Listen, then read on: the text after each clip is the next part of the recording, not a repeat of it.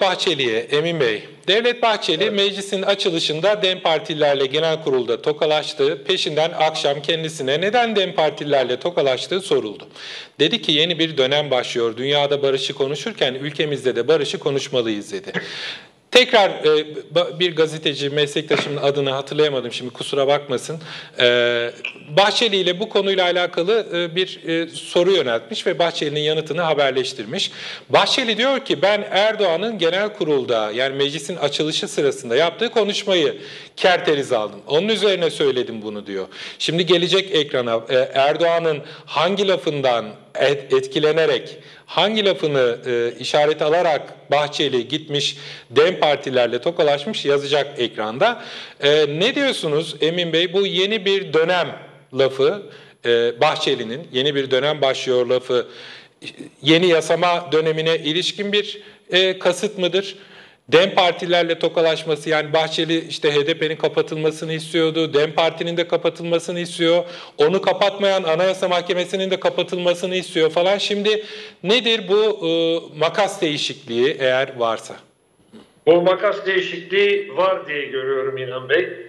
Zira Ankara'dan iyi haber alan kişilerle konuştuğumda şöyle bir projeden bahsediliyor. Bu proje gerçekleşir gerçekleşmez e, Orta Doğu'daki durum, Türkiye'nin içindeki durum, özellikle ekonomik durum, bu sığınmacılar hepsi bir araya geldiğinde e, devlet denilen bulut yani oradaki akıl bazı şeylerin yapılması gerektiğini düşünür hale gelmiş. E, bu arada da bir numaralı halledilmesi gereken konu Fırat'ın doğusundaki e, oluşumla e, e, İdlib tarafındaki sıkıntıların halledilmesi. Yani Türkiye'ye askeri olarak İsrail'den filan bir tehlike veya tehdit gelmez ama oralarda ciddi bir sorun var. Bunun, bunun halledilebilmesi için burada e, bir Kürt oluşumu var orada Amerika'nın e, himayesinde. Ordu teşekkür etmiş vaziyette, devletleşmiş vaziyetteler. Belediye hizmetleri vesaire tamamen oturmuş vaziyette. Bunun Türkiye'yi tehdit teşkil etmeyecek bir sisteme sokulması söz konusu. Hmm. Bunun için de DEM Parti'ye ihtiyaç var. Onun için DEM Parti'yle e, bugün e, şeyi yumuşatacaklar aradaki konuşmaları. Devlet Bahçeli'nin konuşmalarından ziyade ne yaptığına bakmak lazım. Yani sabah e, esti gürledi, işte bu Sinan Ateş meselesini konuştu, şudur budur. Ama sonra ne yaptı diye bakarsanız e, Devlet Bahçeli kendisi kalkıp yerinden gelip demin eline sıktı. Bu mesaj, bu çok önemli bir mesaj. Bu önemli değildir. Geçen sene de filan yaptığı konularını dikkate almıyorum. E, yeni bir döneme giriyoruz. E, şu anda Cumhur İttifakı çoğunluğunu kaybetmiş vaziyette halk nezdinde yani. Mecliste bir çoğunluğu var ama e, bugün seçim yapılsa bu çoğunluğu koruyabilecek halde değil. Ama meclisteki durumunu dikkate almak suretiyle bir taraftan bu Suriye'deki e, tehdidi tehdit olmaktan çıkaracak siyasi adımların atılması. Çünkü askeri olarak halledemiyorlar, halledemeyecekler. Askeri olarak herhangi bir müdahaleye senelerdir e, müsaade edilmiyor. Oraya yaklaşan İHA veya SİHA'larımızı Amerika düşürüyor. Dolayısıyla orada askeri bir şey yok, e, çözüm. Burada siyasi bir çözüm bulmak mecburiyetindeler, tavizler vermek mecburiyetindeler. Onun için de DEM Parti ile MHP'nin anlaştığını veya e, uzlaşma içinde olduğunu göreceğiz. Ne, ne hususta uzlaşabilirler Emin Bey? Mesela e, işte yeni bir çözüm süreci mi başlayacak? Yani Ama çözüm süreci başlayacak. başlayacak. E, zaten bu anayasa konuşmaları yapılırken de bunun e, olması mukadder e, Tayyip Erdoğan da bir takım şeyler ediyor. Bu anayasa konusu konuşulurken milletin çeşitliliğini dikkate alan bir anayasa yapmamız lazım diyor. Bu direkt olarak e, DEM Partisi'ne, HDP'ye verilmiş bir mesaj. E, bu çerçevede bazı çözüm sürecine benzer, aynı şekilde şöyle söyleyeyim, ne bileyim ben, yabancı bir ülkenin e, misafirliğinde Oslo'da gizli görüşmeler değil de burada bir takım görüşmeler yapılacak. İşte Selahattin Demirtaş'a bir takım imkanlar sağlanacak. Abdullah Öcalan'a bir takım imkanlar sağlanacaktır. Kısmı bir af çıkabilir. Buna benzer şeyler olacak. Hmm. Sonuç itibariyle PKK'nın Irak'taki silahlı unsurlarını bütün dünya gözden çıkarmış vaziyette. Buna Amerika da dahil.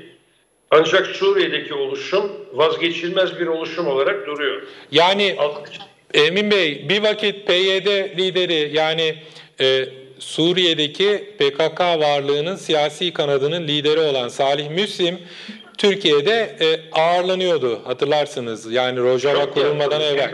Evet.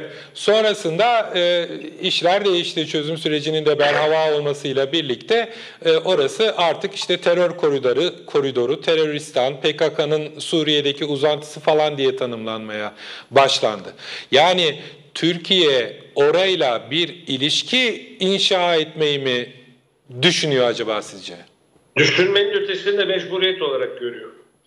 Zira bu e, yürütülebilir bir durum değil. Bunun e, gerek askeri, gerek e, ekonomik, gerek sosyal maliyeti Türkiye'yi zorlar hale gelmiş vaziyette. Buna bir çare bulunması lazım. Bu çare de askeri bir çare olamıyor. Yapamıyoruz. Yani bir, bir gece ansızız geleceğiz falan gibi laflar. Bugünkü dünyada Türkiye'nin gücünü çok aşan söylemler. Onun için siyasi bir arayışın içine girilecek. Netice alınıp alınmayacağını bilmiyorum. Yani bu olacak demiyorum. Buna teşebbüs edilecek. Önümüzdeki bir ila iki senenin gündemi, madem erken seçim de gündemde yok gibi görünüyor şimdilik, önümüzdeki bir iki senenin gündemi e, yarı başkanlık sistemine benzer veya parlamenter sisteme geçişte e, Kürt meselesi denilen meselede e, Kuzey Suriye'yi de halledebilecek, orayla siyasi bir e, mütabakat veya e, tehdit unsuru olmaktan çıkaracak bir arayışın içine Türk devleti giriyor. Türk devleti deyince bunun en önemli unsurlarından biri de Devlet Bahçeli diye düşünmek lazım. Bunu yani eğer böyle keskin bir politika değişikliği olacaksa e, Rojava ile alakalı Suriye ile Suriye'deki YPG oluşumuyla alakalı e, bunu Erdoğan'dan duymamız gerekirdi değil mi Emin Bey? E, Bahçeli'den bunu Bahçeli'den duymuş olmamız ve Bahçeli'nin gazeteciye yaptığı son açıklamada Erdoğan'ı işaret ederek yani diyor ki Erdoğan diyor genel kurulda iktidar ve muhalefetiyle meclisin hasımlarımıza korku verecek bir şekilde çalışması elzemdir. Yani hep birlikte e, hareket etmemizin zamanı gelmiştir diye özetlenebilecek konuşması üzerine ben bunu söyledim diyor. Beni harekete geçiren Sayın Cumhurbaşkanımızın yaptığı konuşmadır diyor. Sanki yani Bahçeli Dem Partililerle durduk yere tokalaşınca yahu ne oluyor sorusu soruldu ve e, bunu başlatan kişi daha doğrusu bu keskin politika değişikliğini haber veren kişi Bahçeli oldu gibi bir sonuç çıkacak ortaya ki öyle olduğunu siz söylediniz zaten. Bahçeli de bunu görerek sanki ben Erdoğan böyle konuşunca böyle dedim. Yani politikayı değiştiren ben değilim. Esasen Erdoğan demeye çalışmış gibi bir hava var. Evet Erdoğan başlattı diyor ama tasvip ediyor. Tasvip etmese tasvip etmediği konularda gayet Evet. sert karşılık verdiğini biliyoruz Devlet Evet. Bahçeli'nin. Bu bir e, bugünkü devleti bugünkü devleti beğenelim beğenmeyelim Tayyip Er Cumhur İttifakı temsil. Evet. Bürokrasisiyle, adalet mekanizmasından, orduda olan hakimiyetinden, jandarmasından Cumhur İttifakı bugünkü devleti temsil ediyor. Ee, burada Devlet Bahçeli'nin bu çıkışı yapmasının bir siyasi tarafı da var. Zira Tayyip Erdoğan'ın tabanı e, bu konudaki değişiklikleri tepki gösterecek bir taban değil. Eğer tepki gelecekse, özellikle Kürt meselesinde yeni bir çözüm süreci veya açılım olacaksa, bu tepki daha ziyade MHP tabanından gelebilir. Onun için de benim gördüğüm kadarıyla Bahçeli gayet dikkatli ve tecrübeli bir şekilde bunun önünü alıyor. Evet.